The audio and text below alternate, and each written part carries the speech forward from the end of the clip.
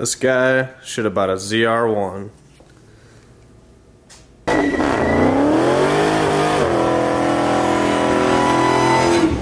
Alright, what's up everybody and welcome back to the channel. If it's your first time stopping in, if you guys like this video, make sure you give it a big thumbs up. Make sure you like the video and make sure you subscribe. Starting to give away some free stuff. I just gave away uh, some Jeep Grand Cherokee crossbars because they were sent to me by a company to give away. And uh, just want to let you know VanVorisGarage.com is up and running. If you want to get pictures of the Demon, the Charger, the Trackhawk, um, even my truck, my Sneaky Cat, any of the cars we have or have on the channel, we're going to post pictures up there um, that you can print or that we'll print and ship to you in poster size. They're really high quality. And if you guys like my pictures that I post on Instagram, a lot of them will be up there. If you haven't followed me on Instagram yet, go do that. It's at VanV39. And uh, make sure you guys check out VanVorisGarage.com. Let's get started on the video. All right, so this has been on my mind lately ever since Kevin got the Demon and the ZR1 came out. Um, now these are two totally different cars, yet everyone wants to compare the two. The ZR1 MSRP 121,755 horsepower. It's a track car. It comes with a wing. It comes with um, splitters in the front. It is set up to be a track car. Um, they want to break the seven minute mark on the Nürburgring. Demon MSRP 89,000. 840 horsepower with the race PCM, 808 without on pump gas. It's a drag car. It's set up to drag. Claimed 965 by Dodge. Is that ever going to happen? To be determined. but there have been owners um, running as fast as 9.8. Mostly everyone has ran around 9.9 to the 10.1 mark. Um, not using the trans brake. So the people that are running that in the Demon, they actually aren't using the Demon to its full capabilities because when Dodge set this up, there is a lot of things you have to get right. Um, you got to brake 500 miles. You got to get your crate so you can put the skinnies on. Um, so you can put the race PCM in. You can do race gas. You got to use the the trans brake. You got to use drag mode. So there's a lot to take into consideration when running these demons to their full potential.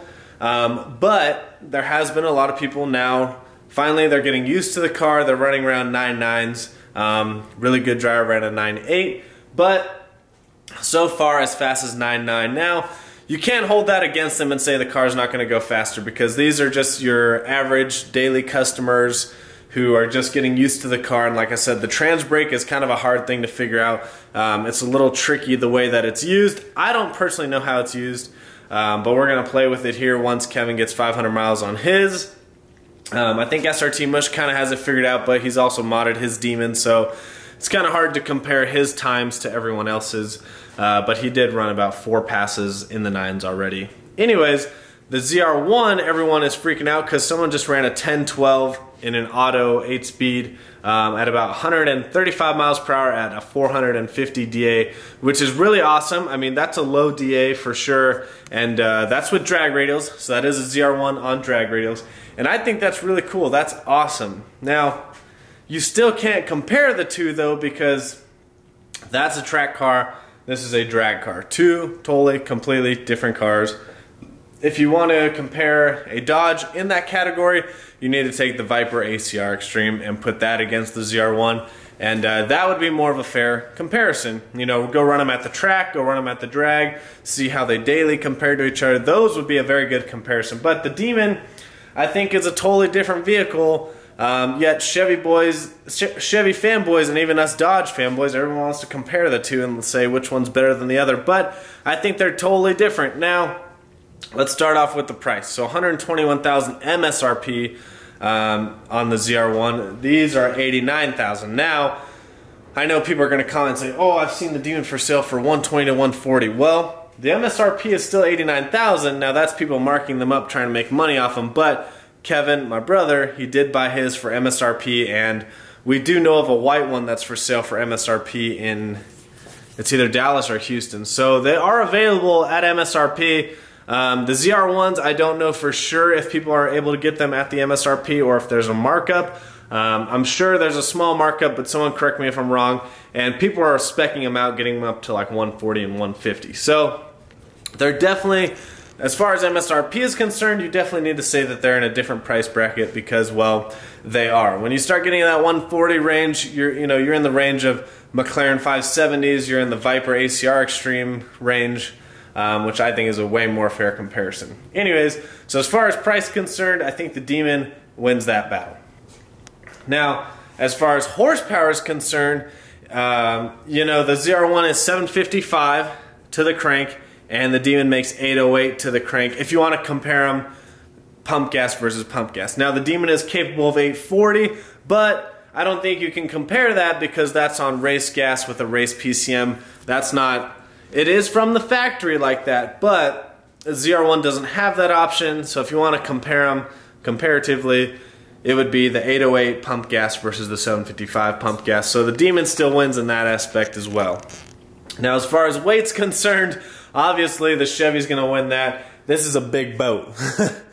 we we've had Kevin has a Charger Hellcat. I have a Challenger Hellcat, and these are big ass cars. They're heavy. They're big. They're not meant to corner. Um, yeah, sure you could corner them, but you'll get passed up by Miatas. So don't think that's a good idea. Um, they're and they're not set up for that. So we're not mad about that. We like to drag race. Um, we like to do runs in Mexico, and that's what these cars are good for. They're good for drag racing. They're not meant for the track. If we wanted a track car, we would buy Vipers. Um, to be determined, actually, maybe getting one. But anyways, if we wanted a track car, that's that would be our car of choice is a Viper. If we were, you know, if we really liked Corvettes that much, I would get a Corvette ZR1 because that's what it's set up for. But, you know, or something like a ZL1 1LE. But we really like Dodge's cars and that's why we chose the Hellcats, and Kevin has a Hellcat and a Demon, and I have a Hellcat. So as far as weight's concerned and cornering, things like that, obviously the Corvette wins, but the Demon was not built for that. So take that, take that into account. Um, as far as interior goes, I think they're both, um, it depends on what interior styling you like. Dodge is really up to date. It's got everything you need in there. It's got heated seats, cooled seats, heated steering wheel. It's got um, pretty much everything you need for it to be a daily driver. I don't think the Demon has a heated steering wheel though. Someone correct me. Kevin, comment below. I don't remember. I don't think it does. But either way, um, heated, cooled seats, all that good stuff is available in the Demon, uh, you know, for it to be a daily driver. And they're really comfortable. Obviously, because they weigh so much, um, part of that is to do with how big they are on the inside and how big the car is overall, but they are very comfortable. Now, these seats are bolstered a little bit more than the Hellcat, so they definitely hug you a little more. Um, and the only difference between the Demon and the Hellcat is the Alcantara steering wheel and the gauge cluster. Um, but other than that, it's pretty much a Hellcat interior, bolstered seats, Demon logo. Very slight, very slight minor changes, but these things are comfortable as shit. They I've driven mine to Dallas. I've driven mine to Lubbock plenty of times, which is two hours away, and it's it's like driving a really nice luxury car um, with the ability to get on it and haul ass everywhere.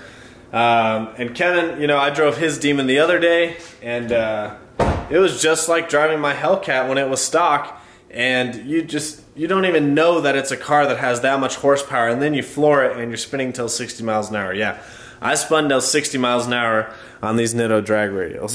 so the Corvette, now I haven't sat in the ZR1, but I have sat in the new Z06 um, C7 and I actually sat in Joseph's, our buddy. He has the competition seat, so it pushes a little further back. And so it's got a little bit more room. It's got the red leather, because it's got the Z07 package. And that thing was definitely a lot more roomy, but the ceiling height, the roof height feels really short and it kind of it makes you feel a little cramped, especially when you're as tall as we are. Now, I definitely fit better than in a normal Corvette. Um, a normal vet felt super cramped in there, but uh, finally sat in Joseph's, and that one definitely has a lot more room. And I don't know how the ZR1s feel, but I'm sure they're a little bit similar to that. Um, I kind of felt like I was in a Viper. If you've ever sat in a Viper, you feel it really cramped. You feel like you're in a race car. The thing rides like a race car. Um, but I can't say for sure on the ZR1 because I haven't rode in one yet. But I'd assume it's a little bit similar to the new Z06. So, you know, I think the Demon is, I think personally, I had like I said, I haven't rode in a ZR1, but I've rode a. I think the Demon is still a better daily driver. You don't know what it is when you're driving when you feel like when you're driving it and you feel it you don't feel like you're driving this car that has over 800 horsepower and can run nines in the quarter mile um, you don't feel that way which is really nice. But when you get on it or if you take it to the drag strip it's a drag car. The thing's fast as shit. Um, it's still really heavy but that comes with it being able to ride really well. Um, you've got nice sound quality you've got really nice interior. So you have these really nice amenities and uh, you've got a drag car for the weekend. Now for the vet, I think um, from what I've read and what I know, it's a little bit louder inside. It rides a little bit more like a track car. Um, you feel like you're in a track car, and uh, that's what kind. Of, that's kind of what you get with the car being that much lighter than these, and uh, you know with the suspension that's tuned for the track. Whereas you know, I mean, and it does have the different modes, but the Demon and the Hellcats, you really notice a difference when you change the suspension modes. And like I said, I'll be able to do a full review when I ride in a ZR1, but I think the Demon takes the cake on being a daily driver and a race car on the weekends. But back to the original point, everyone needs to stop comparing them. Everyone wants to say the ZR1's faster, everyone wants to say the Demon's faster. So even us Dodge fanboys, if you will, we need to stop comparing these to the ZR1 because they're not. What you know, we can't go on a Nürburgring. We would flip, twist, roll over, and die on the Nürburgring if we took the Demon out there. And the ZR1 can't keep up on the quarter mile strip. It would see taillights all day of the Demon. So that's just what it is. But I still think it's really cool that the ZR1 was able to run a low 10s from the factory with drag radials. I think that's really cool. Um, it just goes to show you how far technology's come and uh, just how fast these new cars are.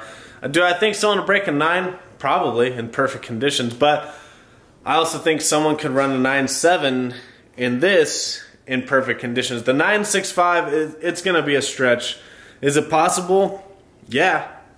In freaking moon boost conditions. So who, who knows? I mean, who really knows? People are just getting the demons. People are just getting the ZR1. So it's hard to really tell exactly what these things are capable of. And you know, you've got, these aren't professional drivers taking delivery of these. These are normal customers running 9.9 and 9.8. So it'll be really cool to see what people can actually do with these. Um, it'll be really cool to see if someone can actually run the 965. I don't think so personally. I think 97s once everyone gets them figured out, but um, they're a good platform. It's like the ZR1. The fact that it's running a 1012 at 135, I mean, it's a very good platform. You're talking about bolt-ons and it's a low, a mid excuse me, it's a mid to low nine second car. Same thing with the Demon. You're talking about bolt-ons, you're talking about a very low nine, maybe an eight second car on E85. So they're very capable cars. I think they're both really cool. Um, the Demon gets my pick just because that's what I want. I want a drag car. I don't want a track car. If I wanted a track car, like I said, I'd get a Viper. But two different platforms. So I want everyone to comment below which you would pick. Would you take the Demon or would you take the ZR1 and why? And if you care more about track and if you care more about drag. So you guys let me know your opinions below. Always make sure you comment, like, subscribe. Follow me on Instagram and Snapchat at VanV39. Check out VanVorisGarage.com and we'll see you guys on the next one.